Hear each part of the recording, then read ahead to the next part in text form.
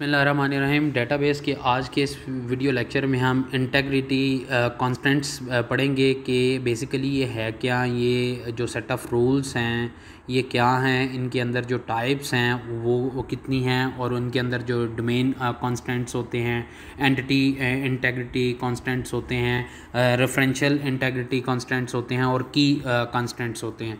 तो ये हम डिस्कस करेंगे कि इसके अंदर हमारे पास जो इंटेग्रिटी कॉन्स्टेंट्स हैं, ये है क्या, इनके अंदर कौन कौन सी टाइप्स आती हैं और इनका क्या, इनके क्या फ़ीचर हैं जो डेटाबेस के अंदर हमारे पास इम्प्लीमेंट होते हैं।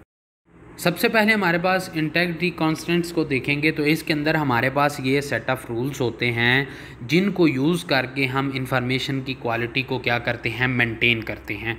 अब अगर फ़र्ज़ करें, हमने कोई भी डाटा इंसर्ट करना है डाटाबेस के अंदर, या उसकी अपडेशन करती हैं, करनी है तो जितने भी प्रोसेसेस हमारे पास परफॉर्म हो रहे होते हैं, वो इफ़ेक्ट नहीं करते इसकी वजह से।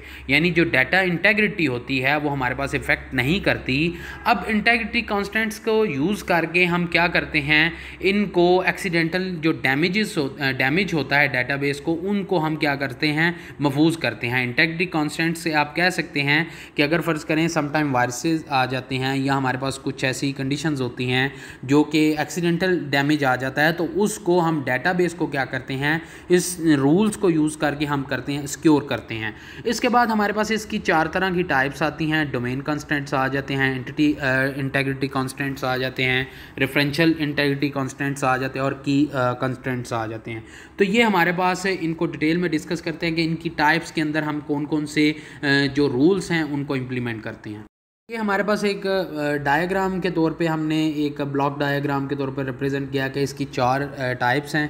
इंटेग्रिटी कॉन्स्टेंट्स की। सबसे पहले डोमेन है, फिर एंटिटी है, फिर रेफरेंशियल है, और फिर फिर की कॉन्स्टेंट्स हैं। तो ये हम इंशाल्लाह डिटेल में डिस्कस करते हैं, इनके अंदर हमारे पास कौन कौन से रूल्स हैं जो डेटाबेस के अंदर टेबल्स के अंदर हम इम्प्लीमेंट कर सकते हैं।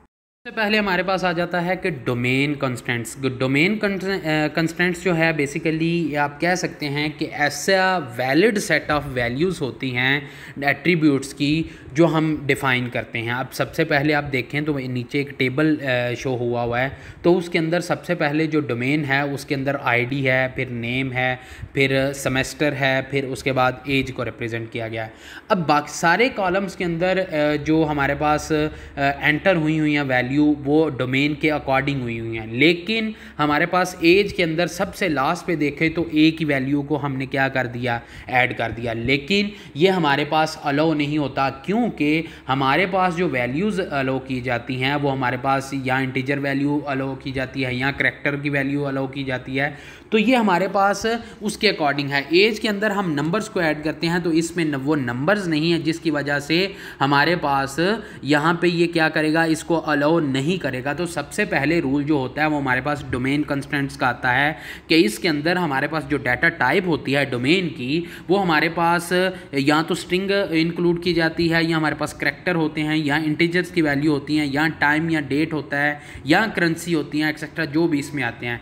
इसके बाद जो वैल्यूज़ ऑफ़ एट्रीब्यूट्स होती हैं, वो must be available in the corresponding domain यानी फ़र्ज़ करें, हमारे पास ये जो डोमेन थी एज वाली, इसके अंदर हमारे पास ये वैल्यू नाइनटीन की थी तो हमने उसको ऐड कर दिया, ट्वेंटी वन की तो ऐड कर दिया, ट्वेंटी फोर की तो ऐड कर दिया, सेवनटीन की तो ऐड कर दिया। लेकिन हमारे पास ए की वैल्यू इसके अंदर नहीं थी, जिसकी वजह से हम इसको क्या करेंगे अलो नहीं करेंगे। तो सबसे पहले रूल वो होता है कि डोमेन के अंदर हमारे पास जो वैल्यू हमने डिसाइड की होती है वो ही ऐड की जाती है। ठीक है? तो एज हमारे पास क्या है? एक इंटीजर एट्रीब्यूट है, जिसके अंदर हम ए को हम क्या करेंगे वैल्यू को ऐड नहीं करने देंगे। तो ये था हमारा डोमेन कॉन्स्टेंट्स इससे नेक्स्ट जो है, हमारे पास एंटिटी इंटेग्रिटी कॉन्स्टेंट्स आता है तो उसको डिस्कस करते हैं। एंटिटी इंटेग्रिटी कॉन्स्टेंट्स के अंदर सबसे पहले याद रखना है कि ये एक ऐसा रूल है जो कि प्राइमरी की वैल्यू को नल नहीं होने देता। यानी अगर फ़र्ज़ करें, हमारे पास जो प्राइमरी की आती है, अगर वो एम्पटी होगी या नल होगी तो वो हमारे पास रूल इम्प्लीमेंट किया जाएगा। वो कैसे किया जाएगा कि हमारे पास जो सबसे पहले प्राइमरी की होती है, वो हमारे पास वैल्यू को हम यूज़ करते हैं ताकि हम पूरी की पूरी रो को इंडिविजुअली रो को हम रिलेशन के तौर पे हम रिप्रेजेंट कर सकें।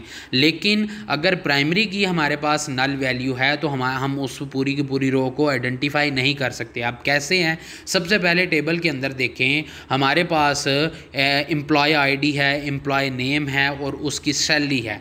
लेकिन हमारे पास सबसे लास्ट रो देखें। पहले जो तीन रो हैं, उसके अंदर हमारे पास प्राइमरी की है। तो हमारे पास ये जो रूल है, ये यहाँ पे इम्प्लीमेंट होगा कि अगर हमारे पास प्राइमरी की नहीं है तो हम पूरी की पूरी रो को क्या करेंगे? वो हम आइडेंटिफाई नहीं कर सकते कि ये किस को रिप्रेजेंट कर रहे हैं। अब अगर हमारे पास एम्प्लॉय आईडी नहीं होगी तो हम कभी भी उस रो को आइडेंटिफाई नहीं कर सकते। तो हम कह सकते हैं कि not allowed as primary key can not contain a null value यानी दूसरा जो रूल है एंटिटी इंटेग्रिटी कॉन्स्टेंट्स के अंदर हमारे पास जो पहली प्राइमरी की होती है उसकी वैल्यू कभी भी नल नहीं होती। इसके बाद हमारे पास रेफरेंशियल इंटेग्रिटी कांस्टेंट्स आ जाते हैं तो उसके अंदर एक बात याद रखनी है, ये हमारे पास ऐसा रूल है जो दो टेबल्स के दरमियान हमारे पास बताता है कि हमारे पास एक जो वैल्यू है, जो लास्ट वाली जो रेफरेंशियल हमारे पास इंटेग्रिटी कांस्टेंट्स है, वो दूसरे टेबल की जो प्राइमरी की होती है, उनके दरमियान रिलेशनशिप होता है। सबसे पहले हमारे पास एक टेबल फ़र्स्ट है और दूसरा टेबल हमारे पास सेकेंड टेबल है। अब एक बात याद रखनी है अगर फ़र्ज़ करें हमारे पास एक टेबल के अंदर हमारे पास जो डी नंबर है या आप कह लें कि एक डिपार्टमेंट नंबर है, ठीक है? तो ये हमारे पास क्या है? ये हमारे पास एम्प्लॉय नेम है या एम्प्लॉय नंबर है। ठीक है? उसके बाद हमारे पास एम्प्लॉय का नेम है, फिर उसकी एज है और फिर डी नंबर जो कि हम उसको क्या रिप्रेजेंट करेंगे? हम foreign value foreign key represent करेंगे। फॉरेन की हम क्यों रिप्रेजेंट करेंगे क्योंकि ये हमारे पास दूसरे टेबल के दरमियान लिंक किया हुआ है। दूसरे टेबल के दरमियान हमारे पास रिलेशन शो करता है। अब दूसरा टेबल जो होता है, उसमें डी जो नंबर है, उसकी लोकेशन है। हमारे पास, ये हमारे पास क्या है? ये हमारे पास एक प्राइमरी की है डी नंबर अब फ़र्ज़ करें हमारे पास जो पहले हमारे पास जितने भी नंबर्स हैं वो हमारे पास चार रोज़ थी लेकिन हमारे पास जो दूसरा टेबल होता है दूसरे टेबल के अंदर हमारे पास तीन रोज़ हैं जो हमारे पास लास्ट वाली हमारे पास फ़र्ज़ करें हमारे पास 18 वाला डिजिट जो है 18 वाली रो जॉन वाली जिसकी एज 27 है और डी नंबर हमारे पास उसका क्या है 18 है अगर वो हमारे पास नेक्स्ट टेबल में शो नहीं है तो वो हमारे पास बेसिकली क्या होती है हमारे पास फॉरेन की होती है अब कह सकते हैं कि ये एक ऐसा रूल है जिसके अंदर हम स्पेसिफाइड करते हैं टू टेबल्स के दरमियान कि हमारे पास क्या रिलेशन बनेगा। अगर हमारे पास फॉरन की टेबल वन को रेफ़र करती है एज ए रेफ़र करती है टेबल टू को एज ए प्राइमरी की ठीक है? तो वो जो वैल्यू होगी, वो हमारे पास फॉरन की होगी टेबल वन की, ठीक है? और अगर ये हमारे पास समटाइम्स होती है नल भी हो सकती है और समटाइम्स होती है अवेलेबल भी हो सकती है नेक्स्ट नेक्स्ट टेबल के अंदर। तो हमारे पास जो तीसरा रूल है, वो रेफरेंशियल हमारे पास इंटेग्रिटी कांस्टेंट है, जिसके अंदर हमारे पास एक टेबल की जो हमारे पास एट्रीब्यूट्स हैं, जो कॉलम है, वो दूसरे के कॉलम के साथ जब हम अटैच करते हैं तो उसमें हमारे पास वैल्यू नल भी आ सकती है और हमारे पास अवेलेबल भी हो सकती है। तो ये हमारे पास क्या होगी? ये हमारे पास फ़ॉरन की होगी। रेफरेंशियल हमारे पास इंटेग्रिटी कांस्टेंट होगा।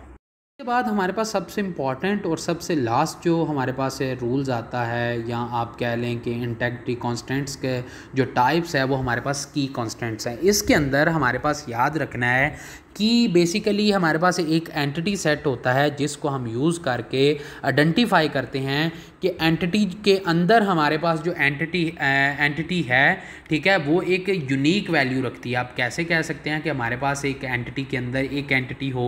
इसके अंदर एक बात याद रखनी है, फ़र्ज़ करें हमारे पास एक आईडी है, ठीक है, वो डिपार्टमेंट आईडी कह लें या आप कोई भी आईडी कह लें कि एक स्पेसिफिक पर्सन की होली, होगी। उसके बाद उसका पर्सन का नेम है, उसके बाद उसका सेमेस्टर है, उसके बाद उसकी उसकी एज है। तो ये हमारे पास जो टेबल शो हुआ हुआ है, ये एक स्टूडेंट का टेबल शो हुआ हुआ है। अब इसके अंदर एक बात याद रखनी है, हमारे पास सबसे लास्ट पे मैंने पहले रोज़ हमारे पास बिल्कुल ओके चल हैं। लेकिन सबसे लास्ट पे मैंने आपको मेंशन किया हुआ है one zero zero two I के अंदर, और ये मॉर्गन की आईडी है, और ए एट सेमेस्टर में है, और इसकी ट्वेंटी टू एज है। एक बात याद रखनी है कि ये I D I D I already repeat हुई हुई है। ये हमारे पास जो as a primary key use हुई हुई है। ये one zero zero two third row में भी देख लें ठीक है? तो ये हमारे पास थर्ड रो में भी, भी रिपीट हुई हुई है। तो ये आप कह सकते हैं कि ये अलो नहीं है। ये सबसे इंपॉर्टेंट चीज़ है कि हमारे पास अगर एक एंटिटी के अंदर एंटिटी आप शो करते हैं तो हर एक जो एंटिटी की एक यूनिक वैल्यू होती है, ठीक है? तो आप कह सकते हैं कि हमारे पास जो एंटिटी सेट होता है, वो हमारे पास मल्टीपल कीज़ रख सकते हैं। लेकिन उसकी हमारे पास जो प्राइमरी की होती है, वो हमारे पास मस्ट भी यूनिक होनी चाहिए वो रिलेशनल टेबल के अंदर हो, ठीक है? या हमारे पास वैसे टेबल के अंदर हो डेटाबेस के तो वो हमारे पास जो प्राइमरी की होगी, वो हमारे पास एक यूनिक वैल्यू होती है। तो की कॉन्स्टेंट्स के अंदर हम जो की है, वो कभी भी प्राइमरी की रिपीट नहीं होती। वो एक यूनिक वैल्यू होती है तो इस वजह से हम उसको रिपीट नहीं कर सकते, ठीक है? तो ये हमारे पास आप कह सकते हैं कि all rows must be unique her row हमारे पास मस्ट भी यूनिक होनी चाहिए, क्योंकि उसकी प्राइमरी की हमारे पास यूनिक होनी चाहिए। जिसकी वजह से हमारे पास वो सारी की सारी रो जो वो एक यूनिक होगी। हमारे पास समटाइम्स होता है कि हमारे पास जो नेम होते हैं स्टूडेंट्स के वो सेम आ जाते हैं एज सेम आ जाती है सेमेस्टर सेम आ जाती हैं। लेकिन अगर उसकी प्राइमरी की हमारे पास डिफरेंट होगी तो हम उसको ईजीली आइडेंटिफाई कर सकते हैं। तो ये था हमारा आज का जो टॉपिक था, वो इंटेग्रिटी कॉन्स्टेंट था और लास्ट जो था, वो हमारे पास की कॉन्स्टेंट उसकी टाइप को हमने डिस्कस किया। अगर आपको मेरा लेक्चर पसंद आया है तो गेट एंड स्प्रेड नॉलेज के चैनल को आप सब्सक्राइब कर सकते हैं और बेल आइकन के बटन को प्रेस कर दें, ताकि आपको रेगुलर अपडेट्स आती रहें। Thank you